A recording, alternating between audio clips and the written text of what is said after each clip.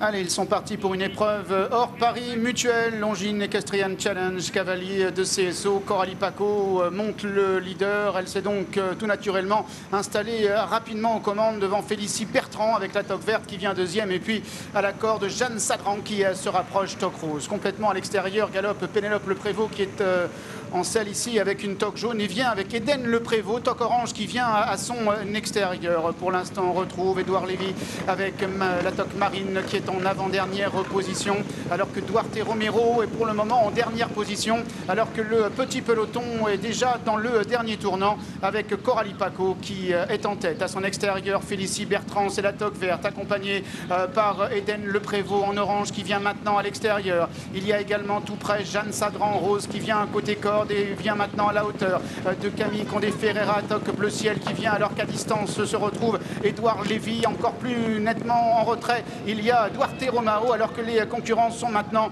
dans la dernière ligne droite. Et c'est Félicie Bertrand qui, à 300 mètres du but, a pris l'avantage et tente de se relancer. Mais à l'extérieur, Eden Le Prévost qui monte un excellent cheval. Anodor qui se rapproche maintenant à l'extérieur et va tenter de venir chercher Félicie Bertrand. Félicie Bertrand qui repart de plus belle maintenant et qui compte maintenant de longues d'avance sur Eden Le Prévost qui va semble-t-il devoir sauvegarder la deuxième place. Félicie Bertrand qui va s'imposer nettement. Deuxième place pour Eden Le Prévost. La troisième place Camille Condé Ferreira. Magnifique victoire de Félicie Bertrand qui a monté son cheval à trois quarts du leader, qui a attaqué la, première et qui gagne très facilement cette course. Euh, Eden a super bien monté également euh, pour prendre la, deuxième place. Euh, voilà, des championnes, les femmes en force, Stéphane. Elles étaient déjà en grand nombre dans cette compétition, mais c'est vrai qu'elles ont dominé assez nettement. Et notamment Félicie qui euh, montait dans cette compétition un certain Amir Van. Alors c'est pas n'importe qui Amir Van, hein. c'est un très bon cheval qui est entraîné par Stéphane Vattel. C'est un cheval qui se retrouve souvent top weight dans les quintés.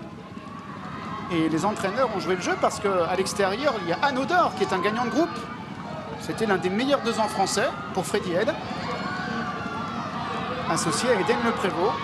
En revanche, euh, Pénélope a été battue assez vite. Elle va faire venir en retrait. Mais c'est vrai qu'on a vu une très nette domination de Félicie Bertrand qui fait donc équipe avec Théo Bachelot qui lui va sauter euh, des barres donc ce soir. pour l'instant, les plus gros points ont été marqués par cette équipe-là. Félicie Bertrand, Théo Bachelot avec Amir Van pour Stéphane Vattel.